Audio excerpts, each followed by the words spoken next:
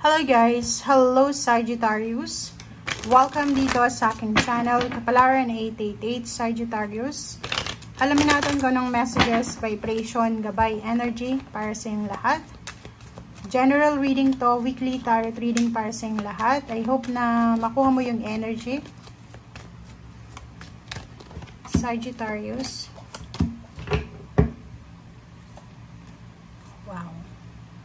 Oh, is Sagittarius. Number 20, number 25, Happy Family Strategy. Okay. Sagittarius, comment down below if you resonated. Pero sa nakikita ko ngayon, lahat kayo pwedeng makaresonate dito sa baraha mo. Okay, siguro sa linggong ito, medyo makakaramdam ka ng, uh, siguro feeling mo lang. Feeling mo lang to. Feeling mo naiingit ka, nagsiselos ka, feeling mo um, may nanloloko sa'yo, parang ganon, feeling mo may tumatry door sa'yo, ganyan, ganito. Or nakikita ko sa'yo dito sa family. It's either relationship, intimate relationship, girlfriend, boyfriend, live-in partner, asawa, uh, mother, parents, siblings, friends, neighbors, parang ganon. Uh, nakikita ko sa'yo dito na nakakaramdam ka ng deceit, ng pagtatry door, panluloko, nakakaramdam ka din na may mga taong naiingit sa'yo or is either ikaw yung naiingit.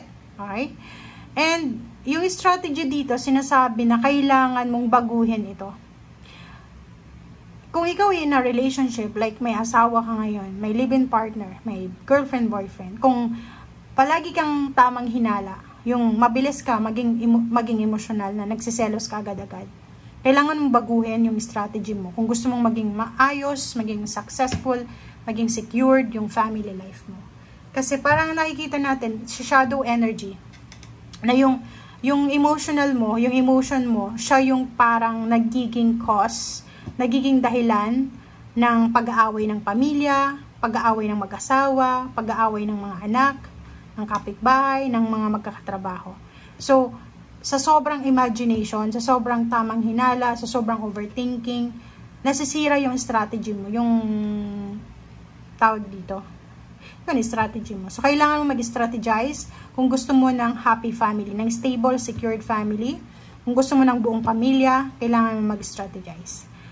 Uh, nakikita ko sir dito na siguro ano, may dadaluhan ka na family occasion, celebration, birthdays, kasal, binyag, or kung ano man to na okasyon na stable, secured, and then masaya. Pero pwede, pero pwede na hindi mo, hindi lang tamang hinala or hindi ka lang nan, parang nag imagine siguro may nanluloko sa'yo sa relationship or pwedeng um, nakakaramdam ka ng selos or may naiinggit sa'yo, parang ganun. Okay?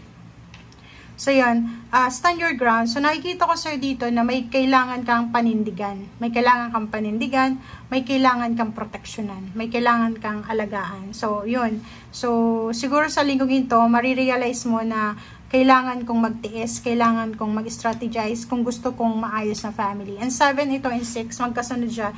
Third eye chakra, ibig sabihin, meron kang mga hindi nakikita na makikita sa ngayon. It's a revelation uh, parang sinasabi ng Beraser dyan sa Sagittarius na um, awakening ba yan?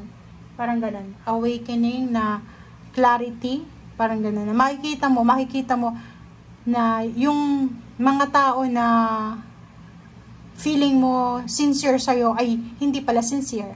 Yung kabaliktira na yung nakikita mong hindi mabait sa'yo, eh yun pala yung taong nagki-care sa'yo, parang ganun. Yung third eye chakra mo is sobrang napaka-active sa linggong ito. Okay? Ang daming revelation, katotohanan, maraming katotohanan ang lalabas sa linggong ito.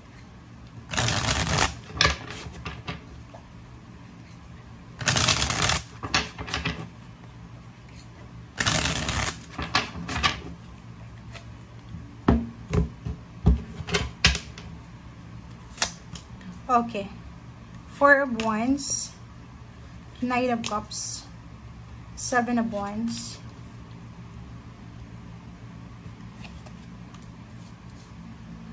Okay. So, kung makikita mo dyan, uh, ito yung five cards sa'yo na nagsasabi na ito yung mga possible reaction mo ngayong linggong ito. Unang-una, uh, may mga heartbroken dito na Sagittarius. Pwedeng bagong hiwalay, or gustong makipaghiwalay, or pwedeng meron dito sa inyong nasaktan, 'di ba? Pwedeng uh, nasaktan ka sa salitang binitawan laban sa iyo or may mga family issues na nakasakit sa iyo or ikaw yung nakasakit sa ibang tao. I-comment mo sa comment section if resonated ka dito kasi parang nakikita natin na uh, yung pain and heartaches na andyan pa rin, 'di ba? May iba sa inyo na hindi maka-move on sa nangyari sa pamilya, sa nangyari sa relationship, sa nangyari sa trabaho. Okay? Pero, uh, may nagbabadya ditong new beginnings. For example, hindi ka naging happy sa dati mong karelasyon, sa dati mong asawa, sa dati mong kalivin. And sa linggong ito, bibigyan ka ng pagkakataon ng universe na magkaroon ng healing, makapagsimula, mag-take ng risk. May mga uh, darating sa buhay mo na mag-offer sa'yo ng love life, Kaso lang, dalawa yung seven of wands dito. Diba? Uh, pwedeng, uh, it's a two cards, two double confirmation dito na may kailangan kang proteksyonan. Kailangan mong proteksyonan is either your family, yourself, or kung ano pa man to na stability or security mo. So, ibig sabihin yan, uh, nakikita ko lang na kung ikaw ito na nagsiselos, siguro may rason kung bakit ka nagsiselos. Kung in a relationship ka, pwedeng pakiramdam mo, niloloko ka ng karelasyon mo.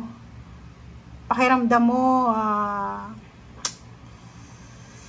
hindi siya sincere sa kung anong sinasabi niya sa'yo. So, ang nakikita ko sa'yo dito, kailangan mong proteksyon ng 7 to 7, 7 of wands, 2 cards, na proteksyonan yung pamilya mo. May kailangan kang proteksyonan eh. Pwedeng anak, pamilya, parents, or ganito ganyan. Comment down below.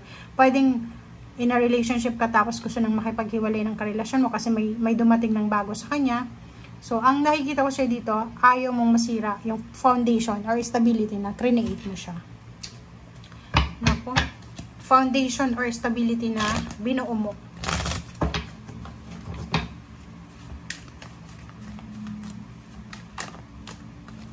Okay. Oh, yun. Ang King of Wands, sinasabi sir dito na kung gusto mong proteksyonan ang pamilya mo, ang anak mo, ang trabaho mo, ang business mo, or kung ano pa man, kailangan mong trabahuhin ito. Ano yung ibig sabihin yan? Uh, kung may gustong makipag-iwalay sa'yo, siguro ano, ayaw niya na kasi hindi mo siya binibigyan ng oras. Hindi mo tinatrabaho yung relationship nyo.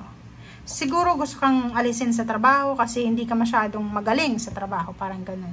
Or posibleng ikaw to, uh, medyo napapagod ka na, tinatamad ka na sa iyong relationship, tinatamad ka na sa trabaho mo, or parang nakikita ko na parang uh, napapabayaan mo na siguro kung ano yung foundation, stability, yung goals mo, yung vision mo. Kaya nandito yung dalawang to, stand your ground, kasi kailangan mong proteksyonan kung ano yung sinimulan mo. Kailangan mong uh, i-secure kung ano yung para sa'yo. Puso man yan or bulsa. Okay? So, thank you guys for watching and see you again. Bye!